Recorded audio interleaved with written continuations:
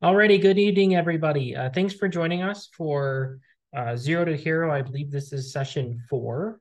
Uh, so thanks everybody for making it tonight. Uh, we've got Nick, and Nick is going to be doing a, a, general presentation regarding how to set up a DHCP server and then how to also kind of debug some common errors. Uh, so we'll break it on purpose, and then we'll kind of go through the process of debugging it.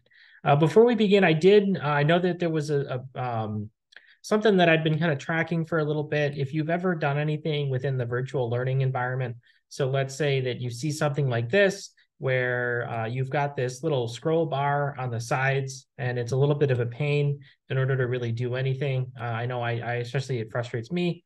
If you want to stop that from happening, you can go here on the left. Uh, so there's this little um, pop out. I don't really know how to else describe it, but you can go ahead and click on that and go on down to settings and go to scaling mode, local scaling, and it'll go ahead and fix it for you.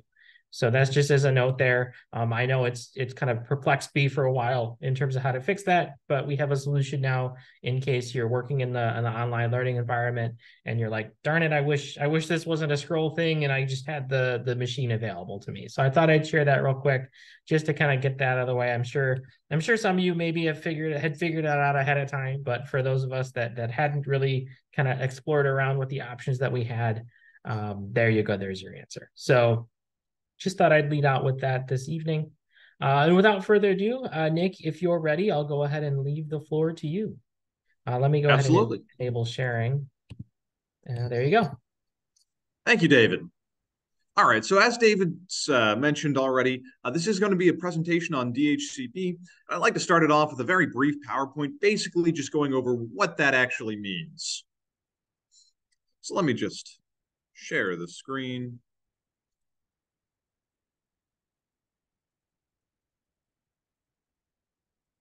All right.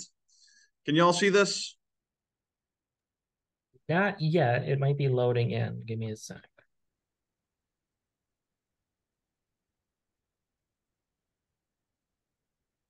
Not there yet. Uh, is it showing up? Is I'm gonna guess it's showing up that it's sharing on your end there, Nick. Yeah, let me try it again here. Yeah. Ah, there, there we, go. we, go. Now it's going. All right. All right.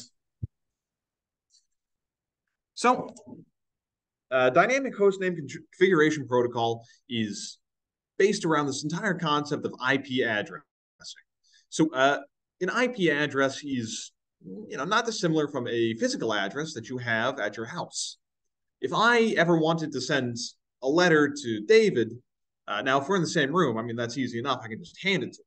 Uh, there is something similar or like this in computer networks in which different devices can easily identify each other, um, known as MAC addresses, media access control addresses, and they're unique to each and every sort of at an abstract level. There's essentially a unique MAC address to every single device, and they can use a protocol known as ARP to try and discover. You know, if they don't know, they can just ask the network, and because it's a local network, or as we're in the room, uh, you can think about that me saying like, "Hello, David, where are you?" And David raises his hand, and I can give him a letter if we're in the same room. But that really doesn't work at any scale larger than that. And so we have to come up with some system of making sure data can get from point A to point B, and that's the IP addressing system. Uh, an IP address is four numbers. It's uh, eight bits each, so it can be from zero to 256, which it uh, you know, you can see it represented on the right here, both in decimal notation, base 10, uh, the normal numbering system we're all used to, and binary, in which the only possible digits are zero and one, uh, which is how computers, of course, communicate, because they can only communicate with itself using an on or an off, or a more power, less power, or something along those lines. Uh, now, theoretically speaking, if it's an addressing system, much like your home address, uh, each address should be unique. Unfortunately, uh, it isn't. Uh, IPv4 was designed at a point in time when they assumed only about a million devices or so were going to be connected to the network. So they created a system with an address space or the amount of total possible IP addresses you can actually give if you were to go from zero to 100% of them uh, at about 4 billion. They figured 4 billion would be more than enough to cover for the probably maximum 1 million devices that are be, going to be connected to the internet. Uh, and then currently there's 6 billion devices that are trying to connect to the internet. And so this presents a problem for numerous reasons, as you might imagine. Uh, but there are a few ways that we get around this.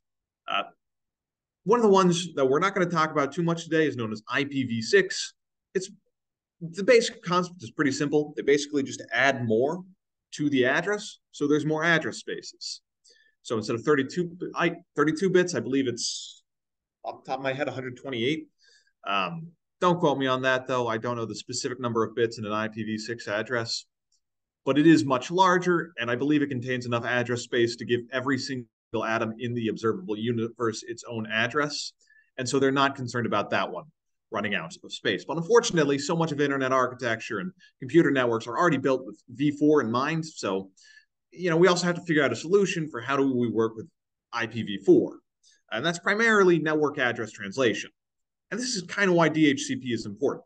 Network address translation basically means that an entire network of computers can share one actual IP address and then just branch out by copying their own IP address, you know, just making up their own IP addressing systems, using private networks, um, in a way that's not dissimilar from the fact that your actual street address, you know, 3201 South Street, 8 Main Street, 9 Milk Street, right, probably isn't actually unique to the United States or the world, but it is unique to your town, your zip code, which is why, you know,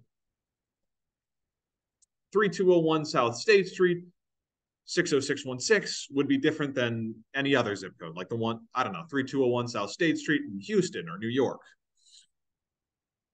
Now, DHCP comes in because trying to manually assign an IP address to every single system in a system that by definition needs to be flexible enough to deal with the fact that there's not a, that they have to be very careful with how long they're giving out IP addresses and where and who to, they give them to.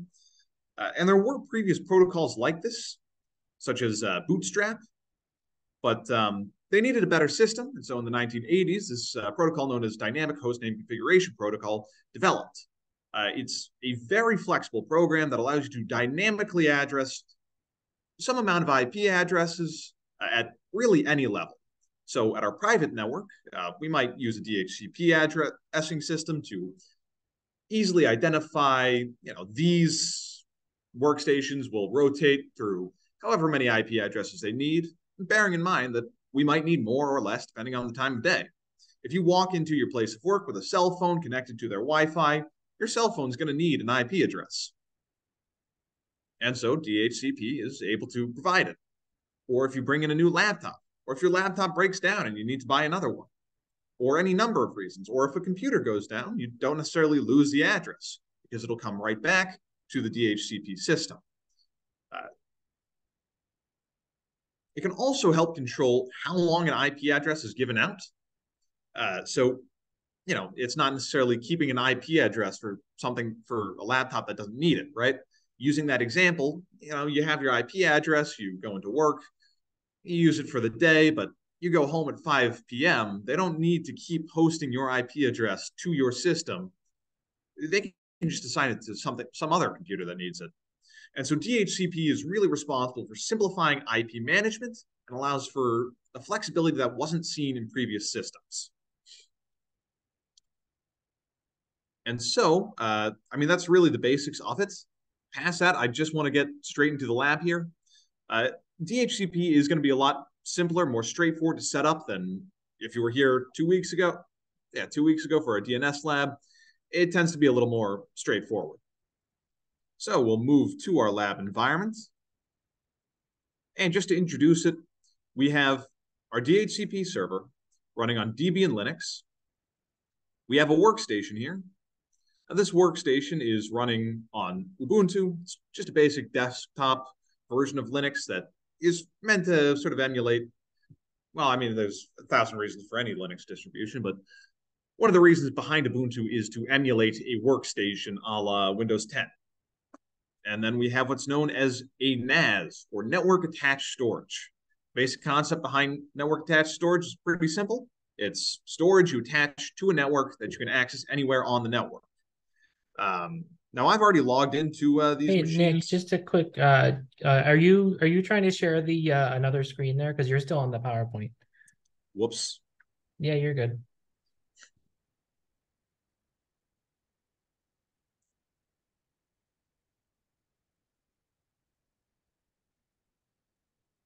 There we go. All right. Sorry, as I was saying, we have our DHCP machine running on Ubuntu, or sorry, running on Debian. We have a workstation running on uh, Ubuntu, and we have this network attached storage. Uh, it's running on sort of a slightly modified version of still Debian. Uh, we're using what's known as Open Media Vault. Uh, this is an open source network attached storage solution, primarily geared towards movies, video, uh, audio, photos, that sort of deal. But what this allows us to do is, you know, store things that will be accessible from anywhere on the network. So if we were to use the example of a small business, let's say you're a media editing company, right? It'd be insane to have each and every single person only have all of their work saved locally to their machines because A, and what if you need someone from somebody else? Uh, what if you need some, you know, if you're working in media, you probably need to collaborate a lot to make sure it all comes together as you intend for it. Uh, if that person's out sick, if that person's just already busy, I mean, they can't take the time to transfer their files over to you manually. Um, what if they quit? What if something happens? What if their laptop breaks? And so network attached storage is used to facilitate a common area for storing things for further access. Now, uh, just for the credentials here, let me throw those in chat. Uh, the initial network attached storage machine is going to be admin and NAS. The workstation of Mr. Desk Desmond Skatop is desktop desktop.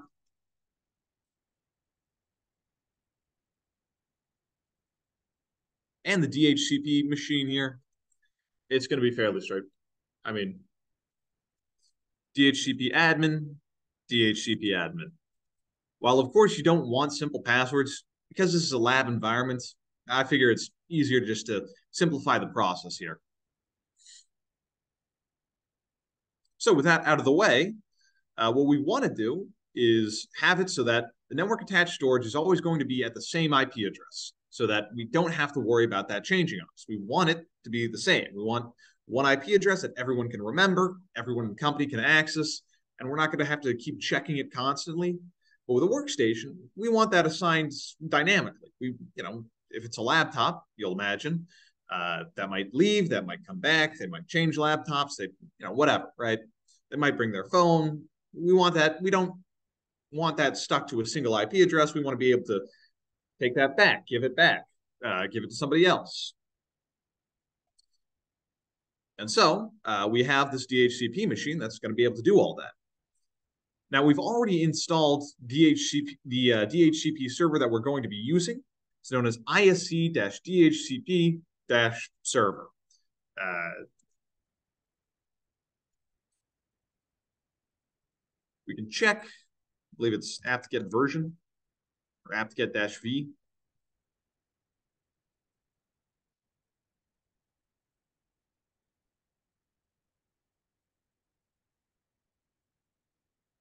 And you can see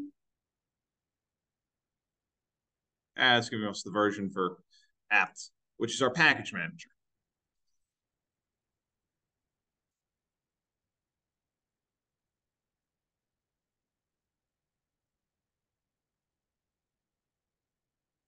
Ah, well, you'll have to trust me that it's installed. Uh, now, when we installed it, it's not going to run because it doesn't actually know how to run because we haven't set any of the configurations for it. Uh, we're going to need to know a few things about this machine and the machines we actually want to you know, supply with uh, IP addresses. And so in order to do that, we're going to use uh, just the IPA command. If you used ipconfig, this is pretty much the same thing. It's just a more updated version of the package that you'll find on more, you know, more commonly on most systems. And you'll notice here that under underneath our network interface, our ENS18, we don't actually have an IP address for uh, the DHCP machine. And if we go into the others, you'll also not find one for those as well. None of these machines have an IP address at this moment. Now, again, we could manually go into the machine and change it to have its own uh, IP address. But as we've discussed, that would be kind of messy. You know, it'd be uh, difficult to manage, difficult to really monitor, and it could cause all sorts of problems. So instead, we are going to assign a static IP to the DHCP server and let the DHCP server deal with everything else. So in order to access the D, you know, change the DHCP server's IP address, uh, we'll go into, we'll use the Nano, N-A-N-O, uh, web editor. You can use whatever you like, but I find Nano to be probably the easiest for myself personally. But there's also, I believe, V and VIM installed on the machine. And we're going to go to slash etc slash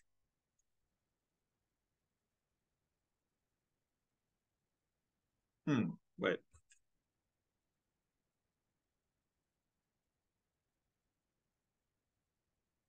yeah slash interfaces and you're going to see this is uh, just a basic uh, configuration file for setting the IP address of the machine. Now, currently, it's basically looking to the greater Proxmox environment to give it a DH to give it an IP address, uh, but we're not giving it that. You'll see DHCP at the end here. So we're going to change this to more or less just tell itself what its IP address is.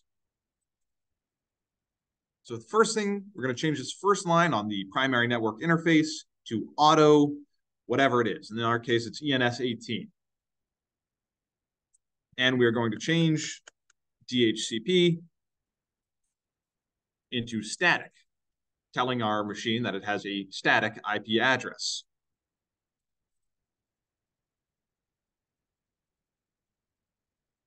Now, uh, we really can do pretty much whatever we want specifically for the IP addressing, uh, but there, there are a few common standards, a few specifically reserved private networks. So we'll go with one of those and we'll set it to what? 192.168. Dot, we'll go with dot one dot one for our, our for our IP address.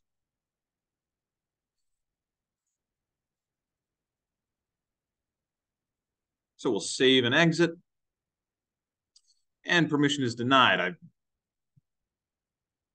my apologies you will have to be uh, an elevated, you know, a root user in order to access this. So you'll SU. In this case, the root user's password is the same as the primary, you know, DHCP admin account, which you shouldn't do normally. But again, we're sharing passwords and using simple passwords because we understand that we shouldn't normally be in an actual environment be using simple passwords and that this is just for the purpose of the lab. So password is DHCP, and you can see here we are root at DHCP machine instead of DHCP admin at DHCP machine. So once again, nano slash ect slash network slash interfaces.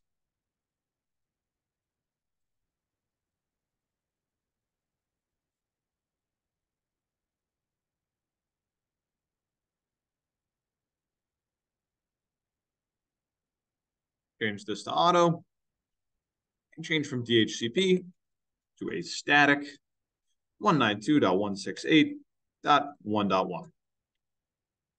Save and exit.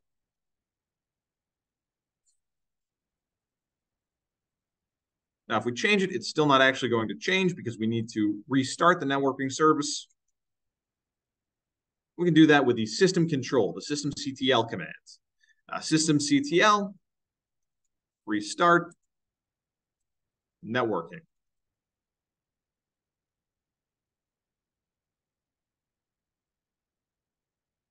The networking service failed.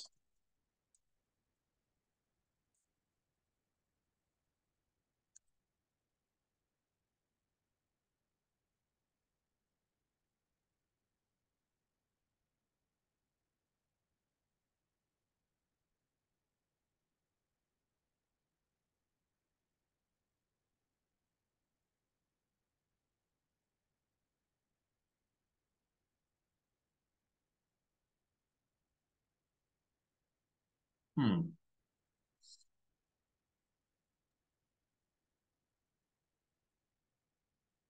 And it's telling us there's a, there's an important option with an empty value up here. Uh, up slash x slash network slash interfaces, line 13, option with empty value. So let's open that back up. You can hit the up arrow to just revisit old commands you've used. And what is the empty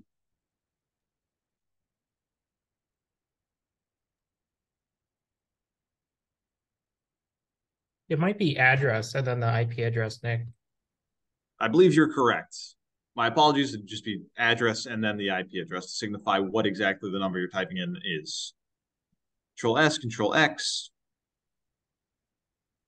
and restart networking. Pass with, uh, you know, without failing. We'll do IPA.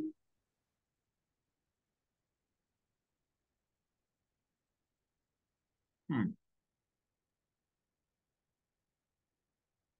And it's still not providing us with an IPv4 address.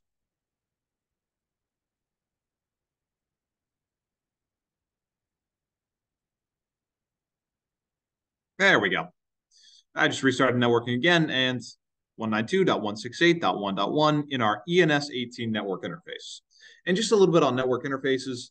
Basically, you know, uh, some device computer has a way of connecting to a network.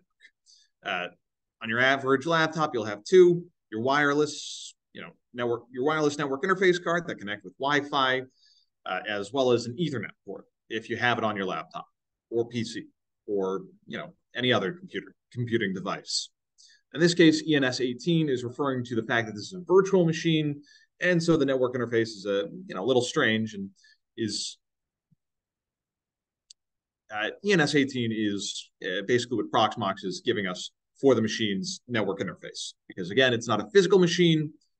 It's running on physical hardware, but it is you know, contained in another greater OS.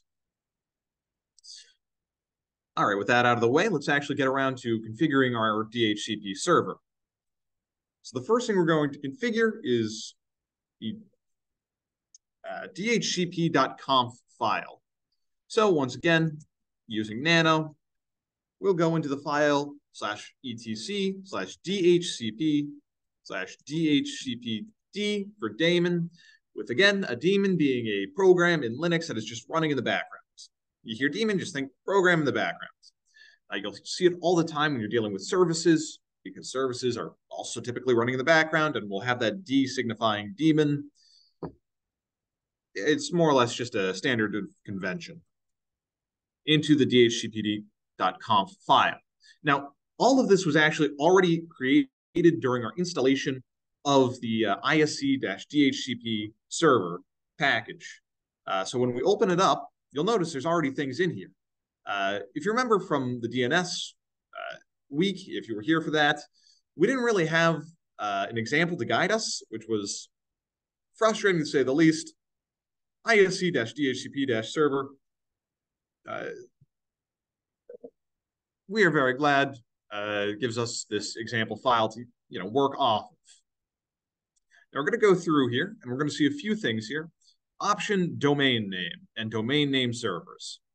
Now these are you know internet domains, wikipedia.org, google.com, iit.edu. We don't have one and we're not planning to install a DNS server necessary to sort of create one, certainly not register with any sort of internet governing authority to actually get it available on the internet. So we'll just comment these out. It's fine for you know a private local network like ours. We're going to see next these default lease times and max lease times. This is how uh, this is part of how DHCP manages IP addresses. A lease is basically just the IP at the uh, DHCP server saying you can have this IP address for this long. Uh, at after 600 seconds, you know, we'll check in again. After 7,200 seconds, we're going to revoke this lease, no matter what. Uh, then there's this dynamic DNS update style none. A dynamic DNS is basically a way that DNS works very intrinsically with DHCP. You don't necessarily need it in either DHCP or DNS, so still work fine. But um, again, we don't have a DNS server, so we'll comment that out so the machine doesn't read it.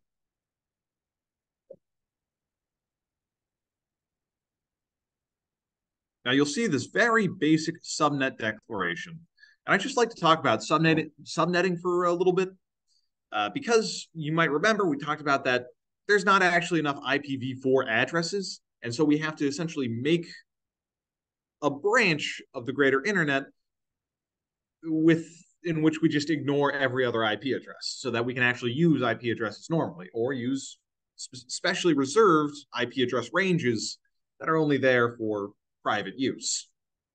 Um, you can think about it a bit like, you know, 3201 State Street brings you to the mailroom at IIT, but it doesn't actually tell you who is where. Uh, subnetting can help, you know, decide this person is over in Gunsaulus, they're over in MSV, they're over in Carman, uh, as dictated by the school or the network administrator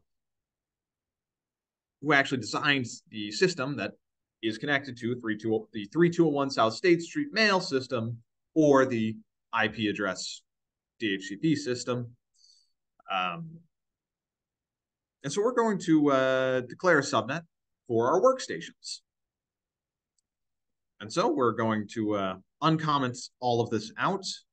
We're going to change what's there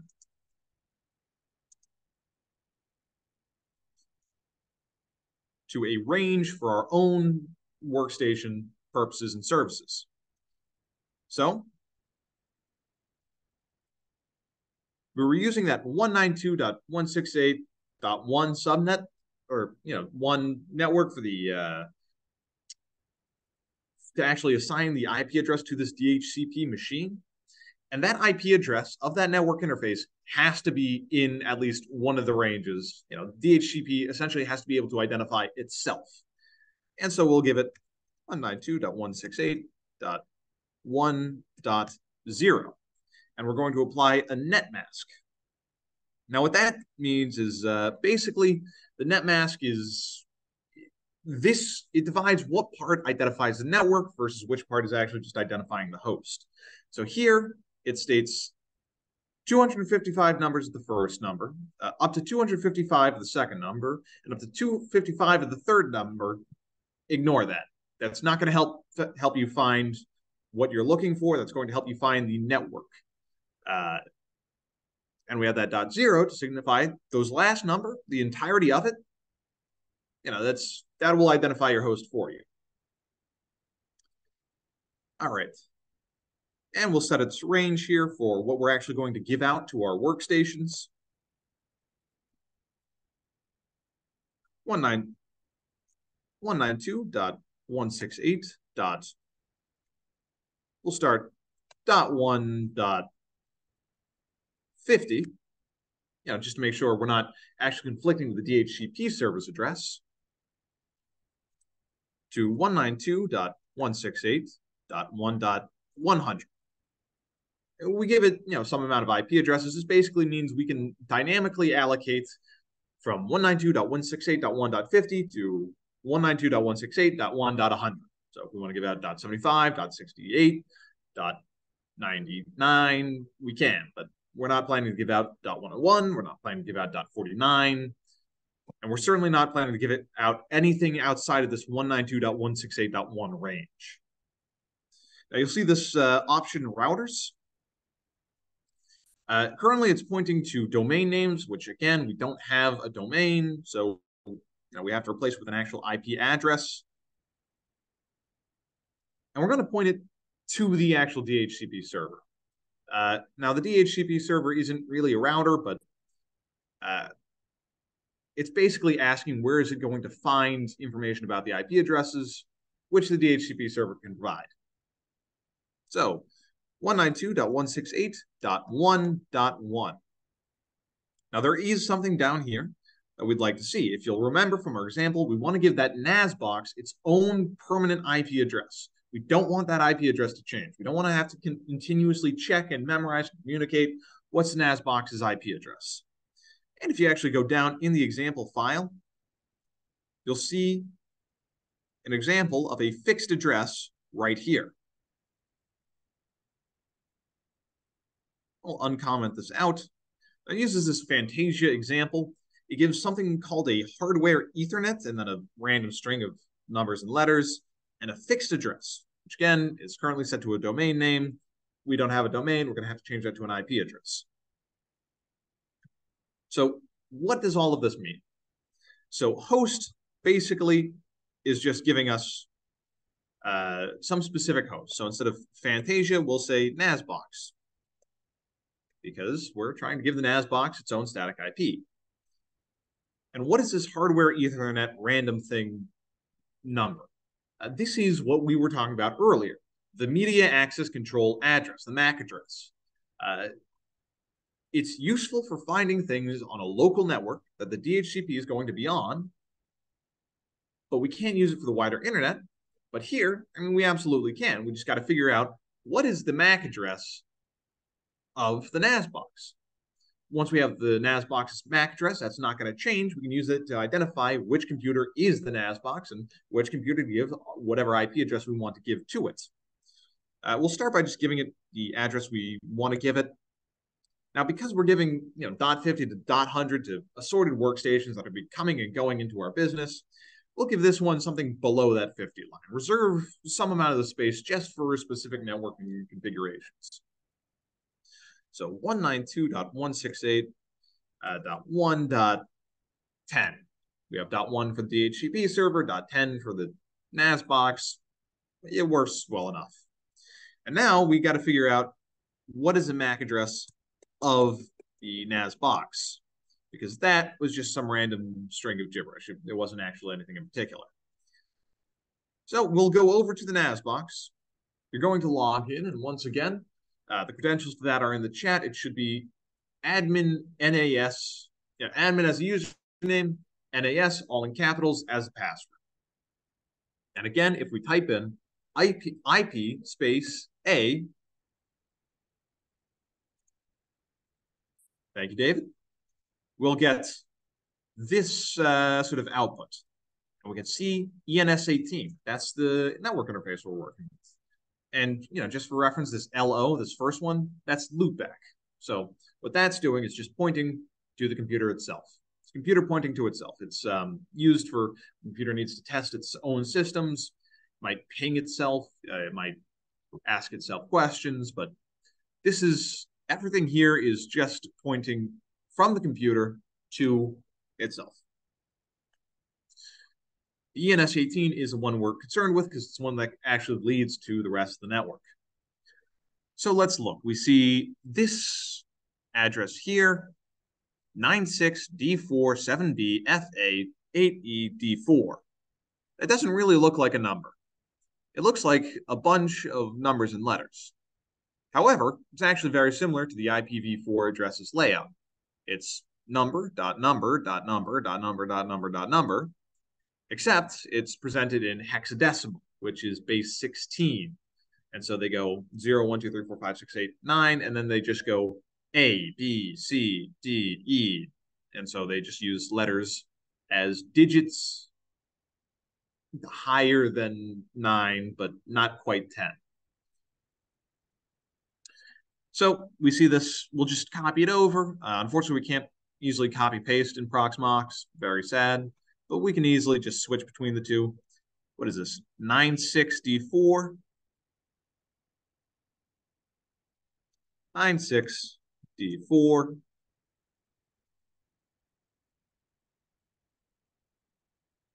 Seven B F A.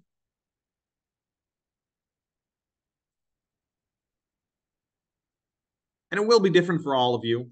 Um, because again, you know, different machines, just type what you see.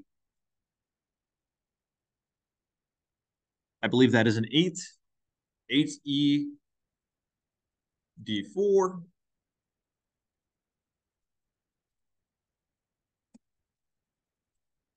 D4. All right. And so now we have the dynamic host name we're going to be presenting to the workstations and the static host name we're going to be presenting to the NAS box. Now that box is actually still going to have to go through the basic lease processing. It's just going to be giving its own little, hey, tell me what my IP address is, and the DHCP server, instead of giving it whatever is available, just gives it this one every, every single time. If it can't give it this one, it doesn't give it any at all. And so we'll uh, we'll save this file. Control S, Control X if you're in Nano. If you're in Vim, it'd be escape colon VI or sorry. I am forgetting my VI commands. Escape colon WR. All right.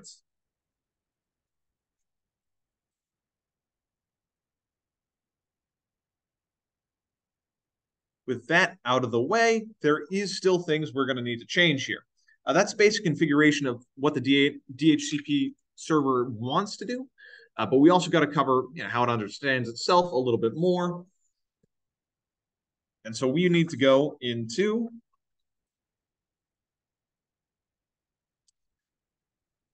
Nano, if I can type it in correctly. Nano, again, use whatever text editor you'd like, slash etc, that etc. These are going to be files, once again, that we're going to change semi-regularly, but not all the time. You know, it's not changing as part of the program. It's typically going to be things like configuration files, as you just saw from the slash at uh, slash dhcp slash dhcpd.conf slash et, and we're going to go into the defaults uh, directory or default, my apologies, not defaults. And in there, there's going to be something just for the ISC DHCP server. Again, the ISC DHCP server, this sort of page was put there by the installation we ran. And we open it up, up again, and wouldn't you know it, thank goodness, it gives us an example that we don't have to try and replicate ourselves. Excuse me, that we don't have to try and replicate ourselves without any assistance. So the first thing we're going to do here, we see interfaces v4, interfaces v6, and everything else is commented out. Interfaces v4 is covering IPv4 addresses. v6 is IPv6 addresses. You'll remember we talked a little bit about IPv6. It's just IPv4, but longer, so they don't have to worry about running out of address spaces. But we're working with IPv4. So we're going to go v4, and we're going to add that ENS18 or whatever your uh, network interface was. We're going to save it, but we're not going to exit quite yet because we still need to help this configuration file find its. We need to help the ISC at, uh, server find the configuration file for itself. We'll just uncomment this dhcpdv4 underscore conf Control S, Control X. Easy enough. Now, theoretically speaking, hopefully, uh, first off, let's clear out the terminal. You can use the clear commands. If your terminal ever gets ugly like that, it just brings you to the top, nice and easy. Now we're going to restart the ISC DHCP server service, and we're going to be restarting networking. We'll start just restarting networking, uh, system, CTL, uh, restart, networking. Perfect. System, CTL, start,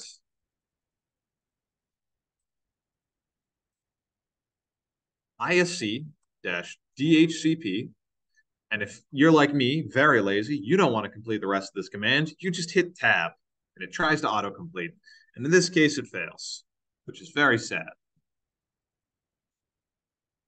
But we start the ISC DHCP server, and as you can see, it gives no complaints.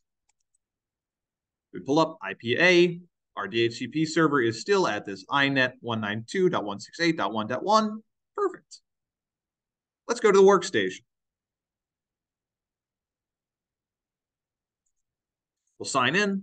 Once again, Mr. Desmond Skotop's password is desktop because I have way too much fun with trying to name the desktop people actual names.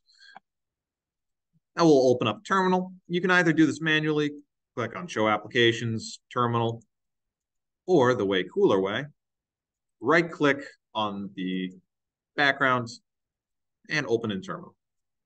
And it actually opens you to your desktop, funnily enough. Uh, we'll just run that IPA command. And you'll see we're not actually set up with anything because we haven't actually changed which DHCP server we're using right now. It, this, I mean, it's on the same network, but it doesn't know what to do.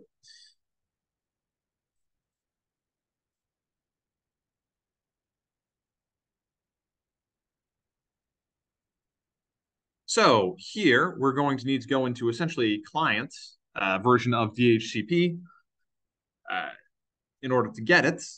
Although I'd like to check on the NAS.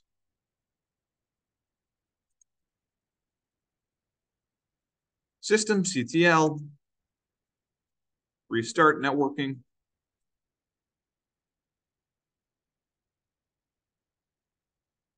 IPA. Oh, something you'll also notice, ENS18 is in state down. Let me check that on the uh, DHCP server. So basically that means the interface isn't running. It's not up. It, it's not trying anything. It's just running that loopback address. Here, you'll see state up because on the DHCP server, it's running. So we go back to the NAS server. And I believe it'd be what? IP link set ENS 18. Again, IP is a whole suite of tools. In this case, we're trying to set something to up. IPA. Perfect. Yeah. IP link set our interface ENS 18 up. It goes up and it's still, you know, it doesn't know where to look for that DHCP server.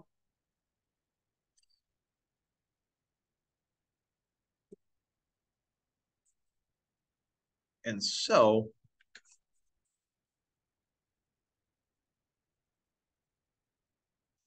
we got to set the DHCP server again using a configuration file here.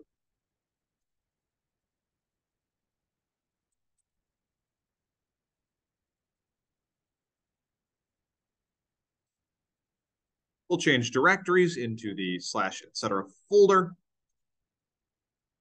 You'll see a whole bunch of folders in here. We'll see this DHCP server. We'll go into that one. And you'll see dhclients.conf. As you might imagine, dhclient is our DHCP client machine's uh, you know, configuration file. So we'll nano dhclient.conf. And again, we love DHCP because it gives us this wonderful example file.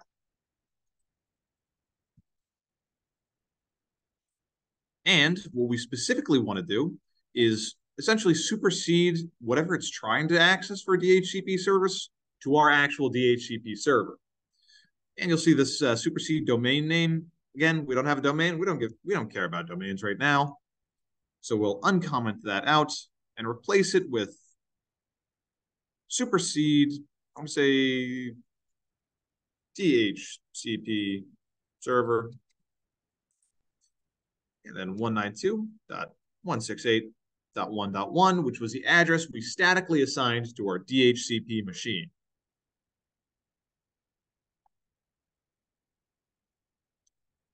That should be good. We'll save, we'll exit, and so I'll just write it again. System control, restart, networking,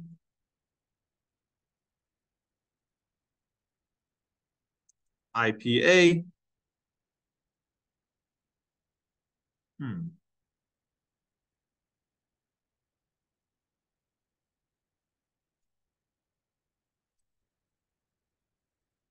And it's still not quite contacting our IP, our uh, DHCP server.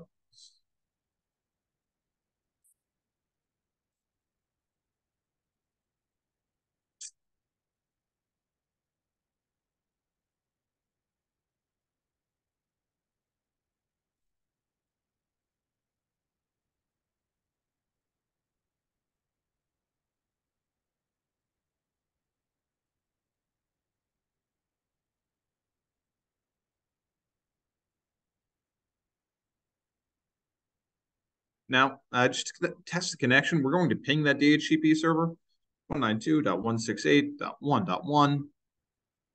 Network is unreachable. Interesting.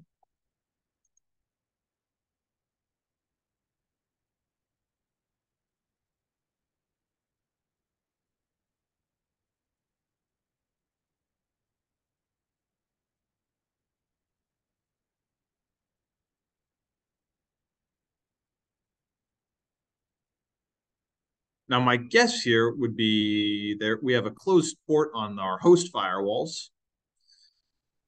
So uh, we check that. Uncomplicated firewall. Uh, we don't have that installed right now. Uh, uncomplicated firewall basically is just a management layer that depends itself on top of a host firewall service known as IP tables.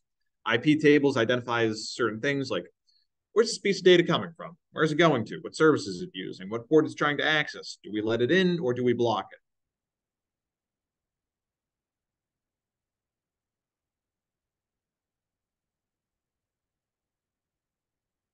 Hmm.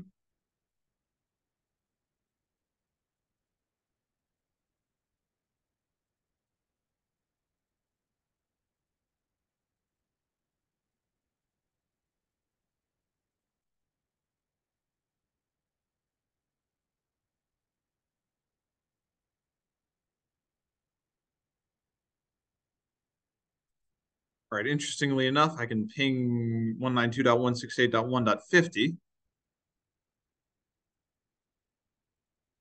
And it's returning.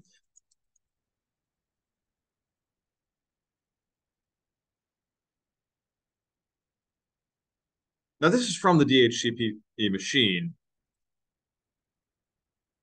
Now, it does look like the DHCP server did assign .50 to itself if you look hmm. back up at IPA. Now I'm wondering if on the NAS server, if you need to double check with network interfaces on that ENS for the NAS, I'm wondering if it's not configured because sometimes you got to get it set up there too. So even though we set it, we we we set it up, uh, sometimes that that gets a little finicky. Well, let's go back into that slash x slash network slash interfaces page. No, yeah, no, that's okay. It seems to be work. Interesting. Hmm.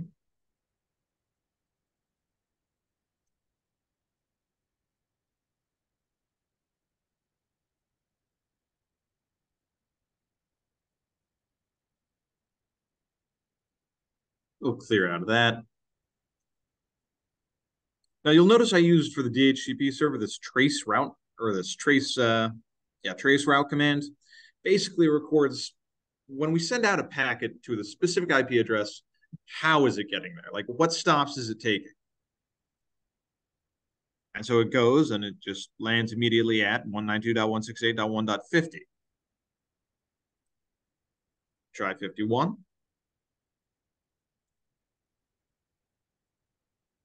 It also lands there immediately. Try 1.10.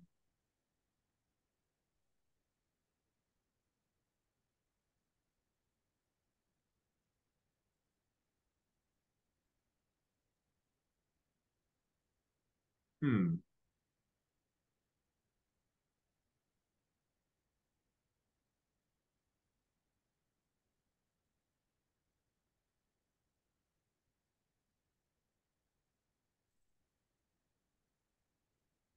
Let's look into our uh, configuration files here. We might have something incorrect there. Actually, let's use journals control. So in the same way we have system control, we have this journal CTL. Uh, now that just records happenings, goings on, what is going on when there's a DHCP request. So we can check that. Journal CTL-XE to get recent events.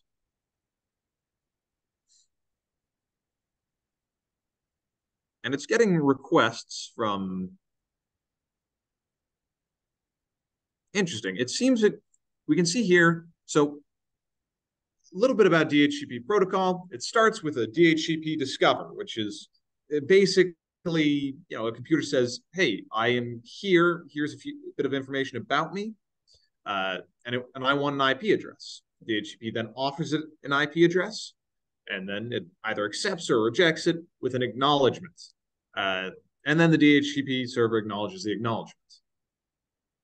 So we see both a DHCP request for 192.168.1.51 from this MAC address, from desktop standard PC i440FX PIIX 996 via ENS 18. That sort of sounds uh, like our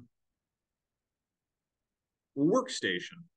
Uh, now this, you know, desktop standard, whatever, that's uh, that's our desktop name. Now our DHCP server's name, I believe, is just DHCP machine. But if we go into our workstation and we sign in,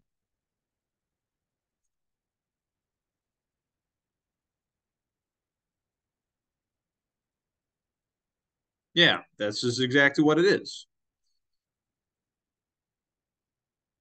And we go in and we see that our ENS18 has in fact gotten a uh, IP address automatically assigned to it from the range we specified, 192.168.1.51, which gives some questions for what's happening with the NAS box. Uh, so it seems, you know, the desktop machine managed to automatically find itself a way to connect to the DHCP server, request an IP address, one was provisioned to it, and it is now, you know, able to contact the DH, DHCP server. Let's go back to that NAS box.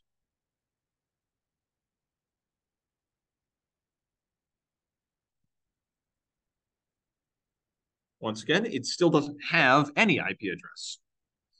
And we saw, we checked the configuration file in the NAS box. It looked fine. It was trying to ask, ask for a DHCP server. Hmm. Let us us try, once again, let's ping 192, let's ping the desktop, 192.168.1.51. Connects, network is unreachable. Hmm.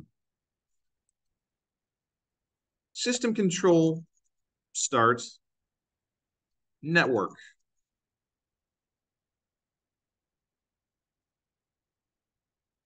Ing.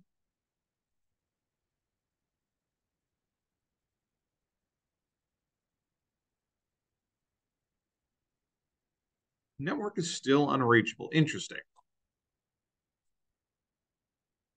I wonder if journal CTL or sometimes doing a restart might yeah, we'll, we'll, uh, we'll check with journal CTL dash XE once again to get recent happenings. The last one, 2051, that'd be 851 for basic cleaning operations. This isn't what we want. That doesn't help us at all.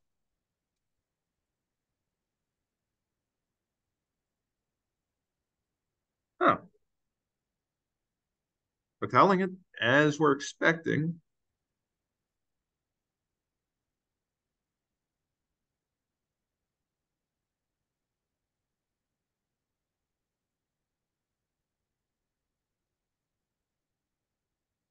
All right, let's clear that out. I'm almost worried that this might be something to do with certain NASBox service. We'll do systemctl and check the status of the NAS service. The network attack service, much like DHCP, is running its own little service. Open Media Vaults.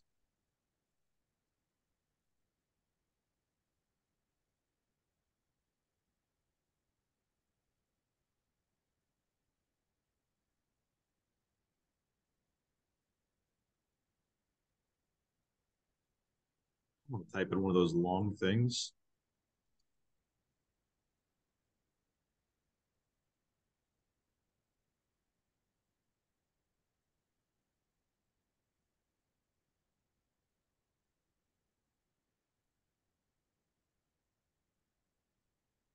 Maybe try the engine one, yeah. Yeah, all right. So that's running as expected. Well, let's restart that. See, well, let's restart the machine as a whole. Never hurts to turn it off and on again. Alternatively, we can also just we all we can also check out the uh the MAC address that we used on the um the HCP server as well. That's also true.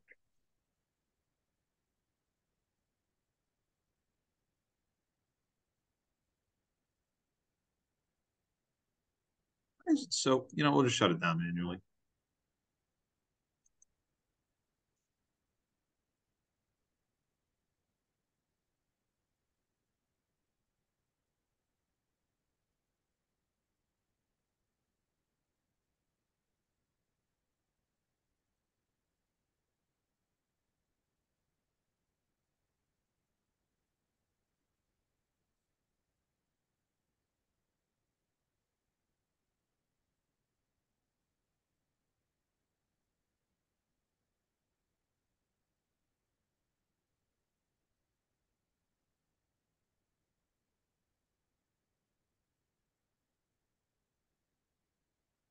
Interesting.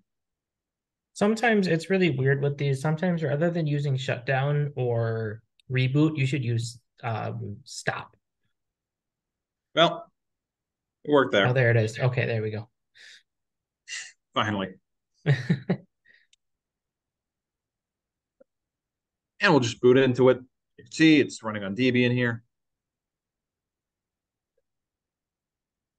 Welcome to Grub. Thanks, Grub.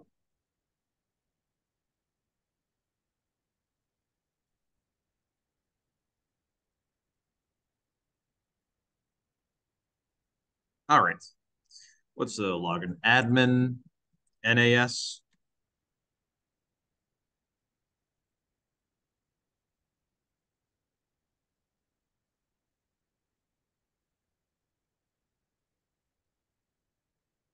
Root NAS. Perfect. All right. IPA. Yeah, there it is. Just cries of turning it off and on again. Always try it. Always try it.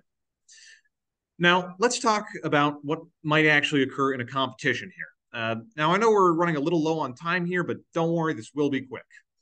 Uh, because unfortunately for us, or fortunately, however you try and decide it, a DHCP's attack surface, or what you can actually use to get, or in this case specifically, what we can use to actually get into the network, what we can actually use to try and insert ourselves in, it's pretty limited.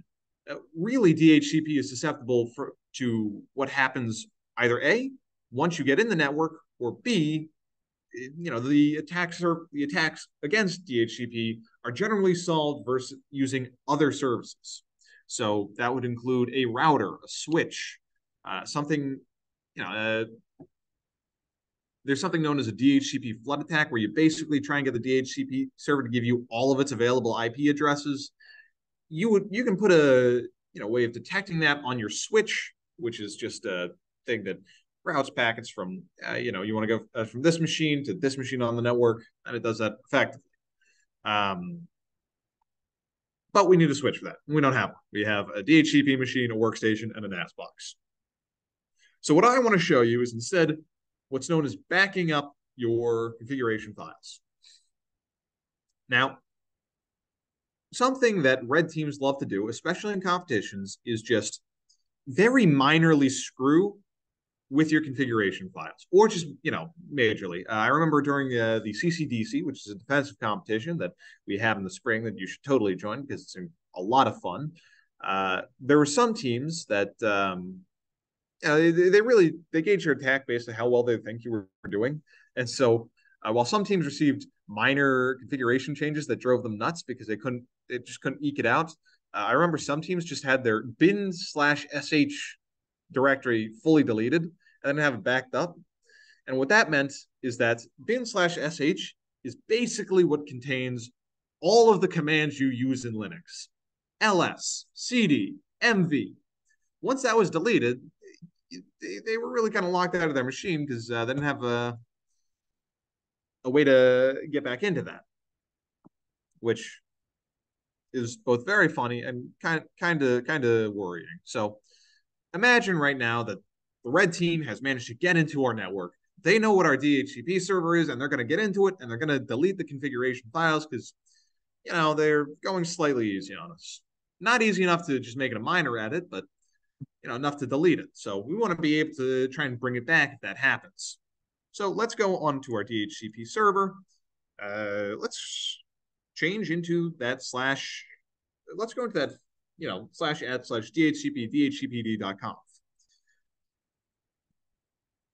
So change directory from the root into slash x for files that change, but not that often. You know, like configuration files into the DHCP subfolder into DHCP daemon.conf. Not a directory. Sorry, we'll go into the directory that DHCPD.conf is actually in. ls. There it is. In any case, we're going to use the copy command to copy a version of what we currently have and we know is working and is correct using cp copy. we'll type in the full name of the what we want to copy. So we can either do that from the present working directory using this dot slash that basically says in the current working directory, I want the file dhcpd.conf. And then we got to, we're going to copy it. Where are we going to copy it to? And what are we going to name it? We can name it the same thing, or we can change where we put it.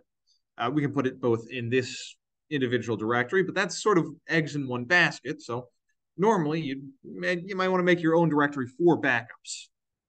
For simplicity's sake, we'll just use this directory for now, and we'll go from the root to slash x for files to change, but not that often, to DHCP for DHCP related files. We're going to name it DHCPD dot DHCPD.conf dot backup. We're going to ls. You'll see that dot backup. We're going to look at what that is. DHCP.conf dot backup. It's the exact same thing that we just had. Now, you might be thinking, you know, if they're in our machine and they are able to delete the dot .conf, surely they can just delete the dot .backup as well. And that's true, which is why we want to do what's known as changing the file permissions. Now in Linux, you can set permissions for different users at different things. So while our DHCP user account that's actually running this might become, you know, attacked and taken over by the red team, we can actually have it so that this, while it can still access the files it needs to, the copies, I mean, it doesn't need to use those. We can set that to only be accessible to the root user. Now we're going to use this using chmod, change modific, change modification. ch mod. It's um, used for setting file permissions. If you've ever made a bash script in Linux, you'll know you have to do this plus X to indicate we can execute this uh, file. But for now, we're going to actually set it to a number. We're going to set change mod of the backup file dot slash dhcpd dot conf dot backup. And we're going to change it to a number. Where am I? We're going to use the number 600. Now, Linux file permissions are often doled out using these numbered systems. 600 basically just means only the root user can read and write this file. There's more permissive permissions. There's more, you know, uh, like 777 means that any single user could read, write, execute. Uh, it's, it's, sort of dependent thing to thing, uh, you know, number to number. We can open up the man pages for change mod. We can see a whole bunch of information about that right now. And it does actually get into which number, uh, under the impression it would get under into which numbers is which. Ah, it does right here. One to four octal digits derived by adding up the bits with values four, two, and one. So you can sort of see the uh, you know description here. But six run or 600 basically means only root can look and use this. So if we go into the uh, user that we originally set using su DHCP admin, look inside this file, obviously dhcp.conf.backup, and we try and nano dhcpd dhcpd.conf.backup.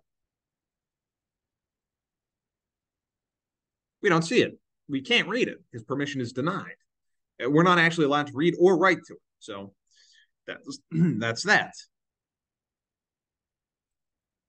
Now we might just want to try and concatenate it out using the cat command. Still says permission denied. This is perfect. Uh, what if we don't want them to see it at all? Now, you can't really, you know, what we're going to do isn't really perfect, but it's a nice trick to know, especially in competition environments. So we're going to elevate ourselves back up to root so we can access that file again.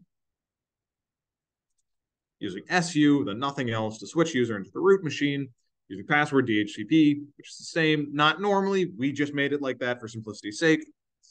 First of all, ls, we're going to cat dhcpd dot conf dot backup.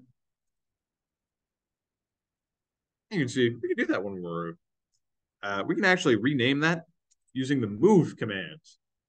You can use the move command to rename things because you know it sort of is what basically what you're doing is you're saying I want to move the file to here or you know from this address with this name to the same place but with this name. So mv, the current file, dhcpd conf dot backup to dot slash dot dhcp dot conf dot backup. And if we do ls, we no longer see it because it's hidden. Basically, Linux has that, you know, you'll see me use this dot and dot dot uh, the dot signifying the current directory, dot dot signifying the directory above you. Because of that, those are technically directories that you could list, but Linux by default isn't actually going to show them because why would it show you that? So if we do instead list all of the things, including the hidden directories, those ones that theoretically we'd already know about, we see, well, we can see it now, but you know, I mean, it's it's something to uh, be aware of. Now, in using this backup, let's imagine that red team hates us. They just delete the dhcpd.conf folder. rm dash f to force it. rm is the remove command. dhcpd.conf ls. No, it's not there anymore. So let's say our workstation is here and you know it reboots or you know it has some hiccup in network and it tries to ask for another IP. So system control networking restart networking. And it's asking us to, you know, authenticate because Ubuntu tries to be more graphical, you know,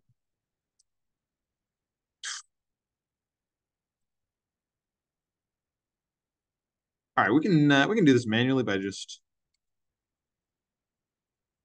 We can't do this man. Oh, that's annoying.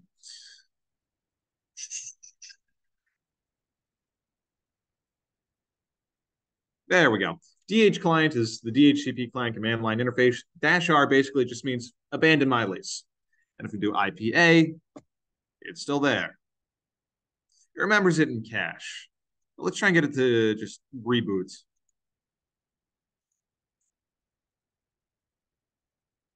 But essentially, whenever we have a new machine, it's it's not going to work. It's not going to function uh, because, of course, you know, DHCP daemon doesn't have anything to go off of when it tries to request something.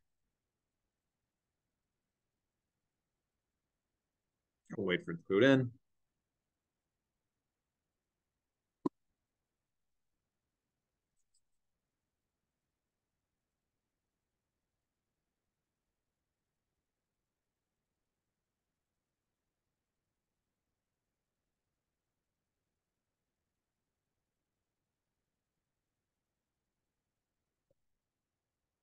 We'll log into Desmond's Desktop with his password, desktop.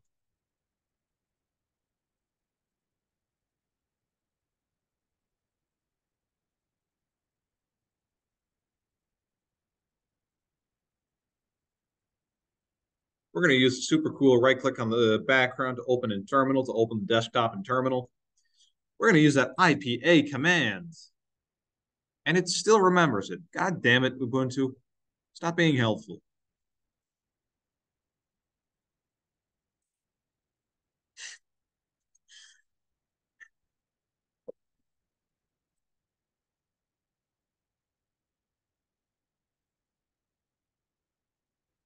Uh, we'll try and run the sudo dh client, which will uh, try and renew our uh, IP address.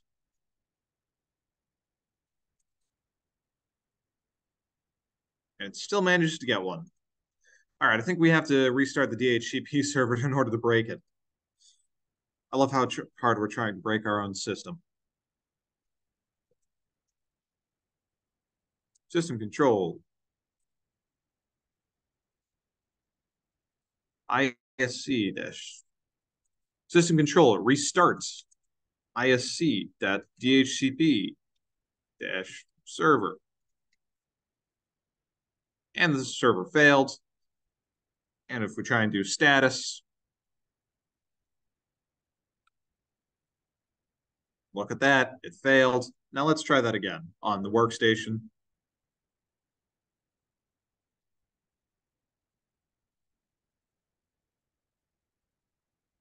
We're gonna go for the DH client and it's freezing up here. It doesn't it's it's trying to do what it thinks it does, but it can't do it.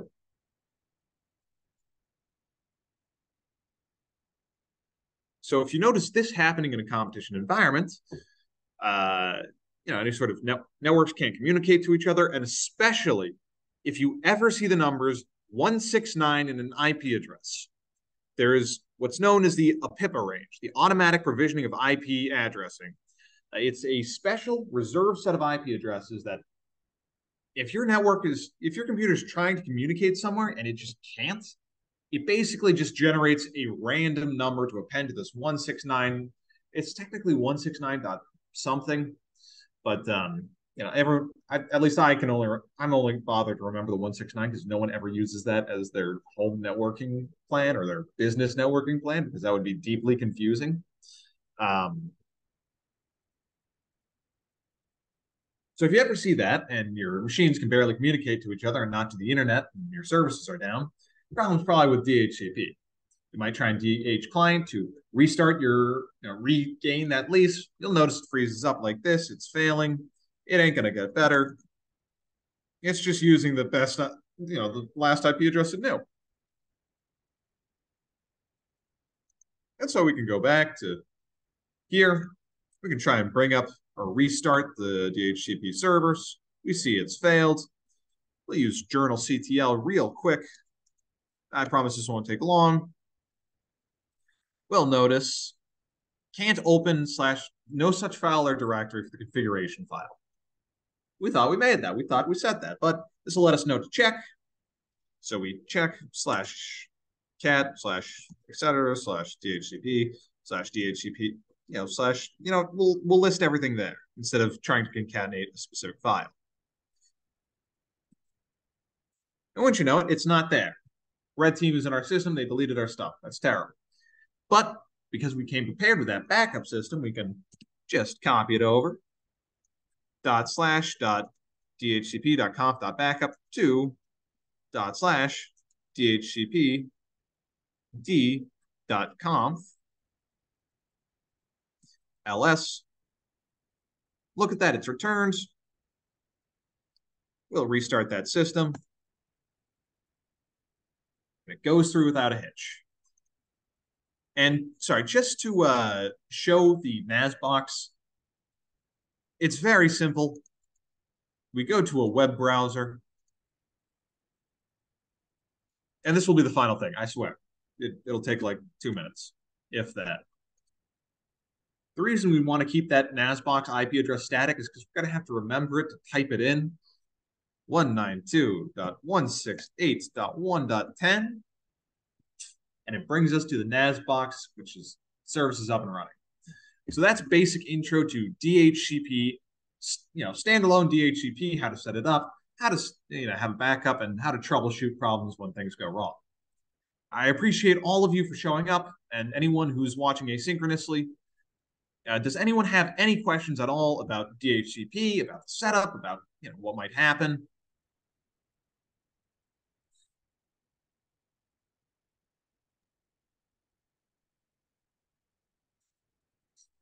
Come up OpenMediaVault's little animation there. All right, I'll take that as uh, no questions necessary, but um, if you ever have any, of course, feel free to post them in the Discord. There's tons of people out there with a lot of experience in competitions, in actual work environments, uh, in probably a good couple of penetration tests. Uh, you could probably you could ask questions about how to break into DHCP, how to use DHCP, how to better protect certain elements of DHCP. You might remember we talked a bit about services that can protect DHCP servers that aren't necessarily on the DHCP service.